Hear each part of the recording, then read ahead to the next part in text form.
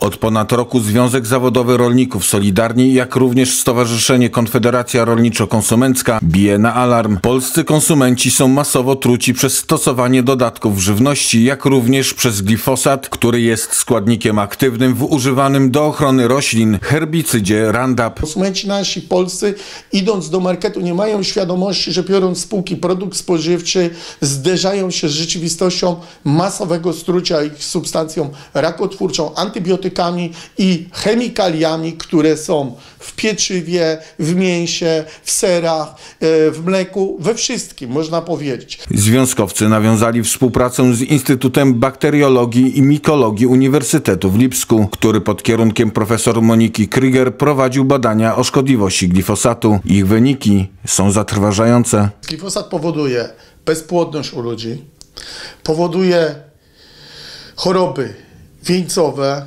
choroby układu krwionośnego, depresję, psy, choroby psychiczne. U dzieci powoduje autyzm, powoduje deformację płodów u zwierząt.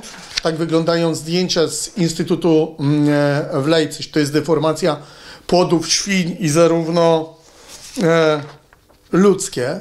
Tematem glifosatu w żywności zajął się również program Food Rentgen. Przebadaliśmy w sumie 10 kasz e, gryczanych, e, z czego e, cztery, w czterech znaleźliśmy przekroczenie najwyższych dopuszczalnych poziomów pestycydów.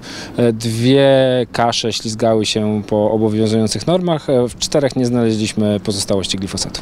Członkowie stowarzyszenia, jak również związkowcy zachęcają jeleniogórzan do przeprowadzenia badań laboratoryjnych w kierunku obecności glifosatu w organizmie. Zachęcamy y, wszystkich po prostu mieszkańców Jeleniej Góry do przebadania się, e, a dla laboratorium niestety nasza diagnostyka w ramach NFZ-u nie prowadzi takich badań laboratoryjnych, dlatego że rząd i, i Ministerstwo Zdrowia ten fakt strucia Polaków ukrywa, nie, refundu, nie, nie są to badania refundowane, więc trzeba prywatnie zrobić w lab- laboratorium. Próbki jadą do Niemiec.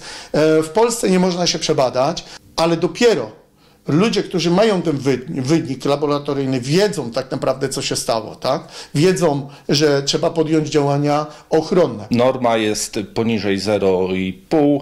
U mnie w organizmie wykryto 1,84.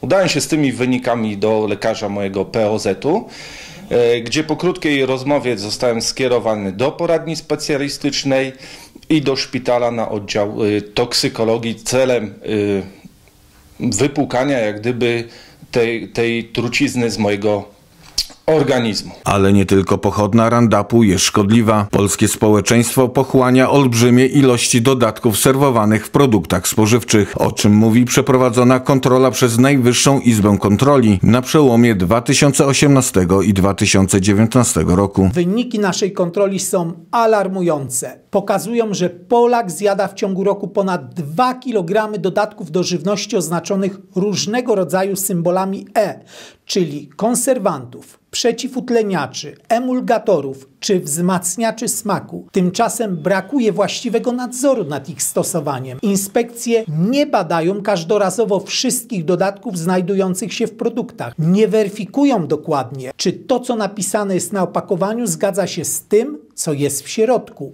Szczególnie alarmujące jest to, że sprawdzane są limity danego E tylko dla jednego produktu, nie biorąc pod uwagę ich kumulacji w codziennej diecie.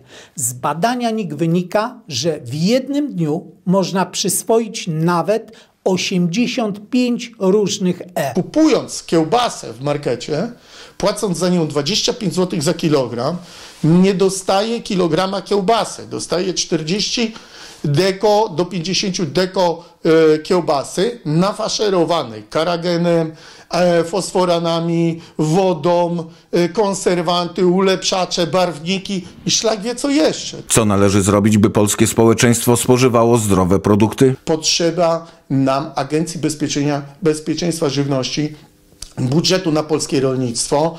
E, trzeba zakazać stosowania glifosatu i trzeba wrócić do tej e, e, produkcji rolnej, która będzie produkcją bezpieczną. 21 lutego Marcin Bustowski złoży zawiadomienie do prokuratury okręgowej w Jeleniej Górze o możliwości popełnienia przestępstwa przez prezydenta Rzeczpospolitej Polskiej, premiera, ministra rolnictwa, jak również ministra zdrowia i głównego inspektora sanitarnego za brak nadzoru nad hodowlą i produkcją żywności.